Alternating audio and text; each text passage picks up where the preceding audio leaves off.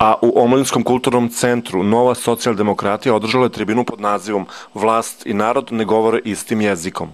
Gospodine Janjiću, eto recite nam večeras vidimo dosta zainteresovanih na vašoj tribini, pa nešto ukratko o čemu ćemo govoriti. Pa evo, mi tvrdimo da već dugo vremena vlast i narod ne govore isti jezik, što će reći da nas vlast stalno obaveštava o tome da je kriza prošla, da su svi problemi rešeni i ponekad se prizna baš da nećemo u Evropsku uniju, a što se tiče naroda mi mislimo da ima potpuno druge probleme koji ga muči i o tim drugim problemima je reč.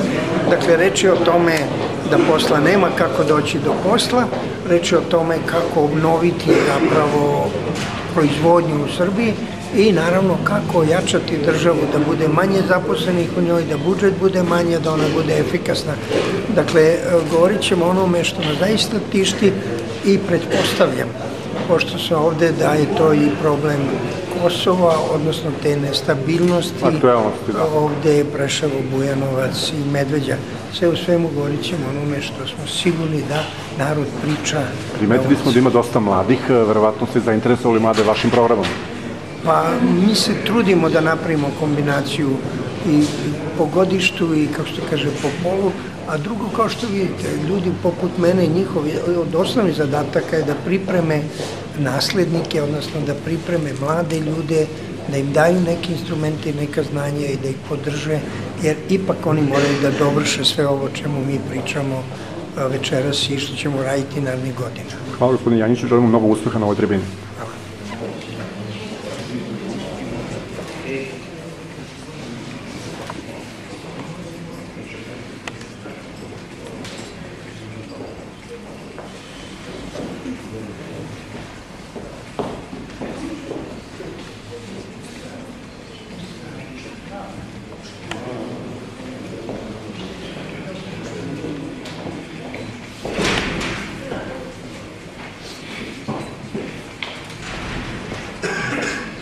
Posebno zadovoljstvo da vas u ime inicijativnog odbora, da vam u ime inicijativnog odbora socijaldemokratije, nove socijaldemokratije Vranje predstavim e, naše goste, profesora Dušana Janjića, kao rodonačelnika ideje nove socijaldemokratije na području Srbije i gospodina Micka Mickovskog, e, magistra ekonomije, čoveka koji se bave ekonomskim pitanjima i prati razvoj juga e, Srbije posebno. Moja malenkost je, piše tu, Goran Stančić, a uža a, oblast interesovanja jeste rudarstvo i energetika. Danas smo se e, skupili, pozvali smo vas da nam se pridružite, da malo a, razgovaramo na temu vlast i narod ne govori istim jezikom. Radi se o tribini koja ima pre svega informativni karakter i da nameru da vam pruži određena saznanja, informacije o trenutnim tokovima, zbivanjima i kretanjima u bližoj okolini i u samoj zemlji. Činski okrug kao administrativna celina čine, čini nekoliko opština. To je pre svega Vranje, koje od prošle godine ima status grada, i novoformirana opština Vranjska banja, Bujanovac, Preševo, Trgovište, Vladiče i Han Sudulica, Bosilegrad.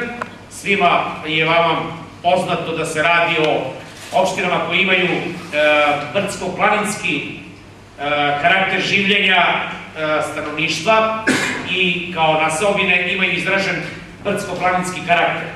Međutim, bez obzira na to, Oni imaju iste interesovanja kao i ostale, e, kao i ostale opštine e, u Srbiji. A to su e, pre svega kvalitetna infrastruktura, iste potrebe uz interesovanje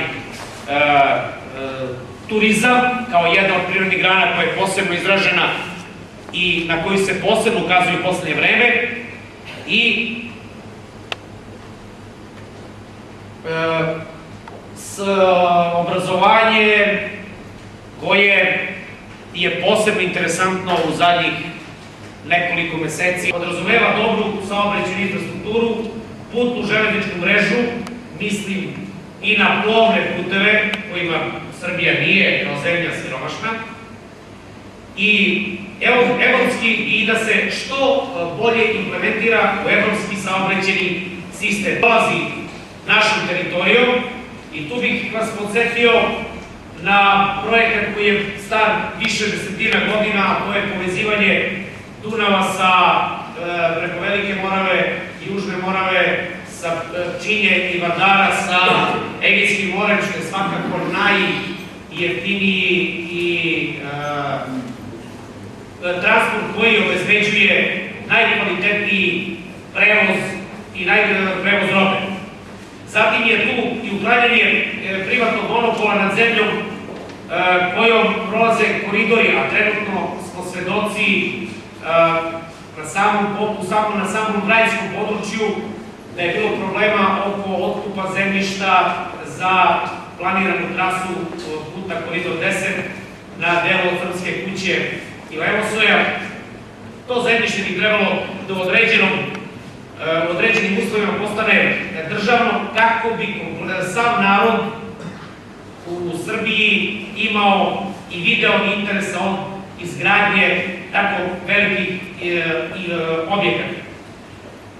Ulaganje u infrastrukturu e, stvara, ulaganje u infrastrukturu stvaraju se preduslovi za uspešan ekonomski razvoj, pre svega zapošljavanje e, građevinske operative, mislim na putni saobraćaj, pre svega isto smo na području Vranja svedoci agonije preduzeća za puteve, traje to već e, skoro pola godine, naziru se nekakva rešenja, država mora da uloži određeni napor da u tom e, sistemu konkurisanja za određene poslove za, e, gde je ona zainteresovana i daje sklapa ugovore i sa Evropskom unijom i sa Svetskom bankom da omogući kvalitetne garancije i našim izvođačima da bi mogli da ravnopravno sa inostranim firmama konkurišu e, za određene poslove i da na taj način obezbede sebi, e, obezbede rad, radnom čovečanstvu, radnim ljudima sasvim e, pristojnu radnu egzistenciju. Pre svega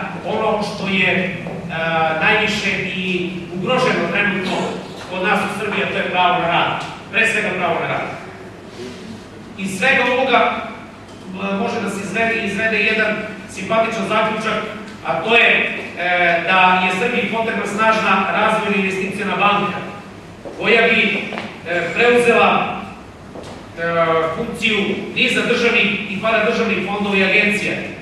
Postojeća mreža inostranih banaka koja je preplavila prostor Srbije nije u stanju da, da adekvatan odgovor na potrebe srpske privrede i na zahteve koji postoje, koje postavljaju na razvojni planovi koji se e, izrađuju i plasiraju građanima i od kojih se očekuje e, pozitivan efekt.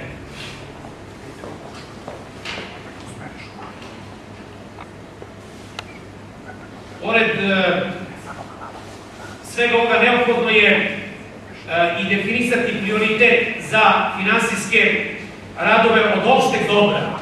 Ono što je posebno interesantno i ono što je posebno važno za građane trebalo bi da bude da dobije određeni prioritet.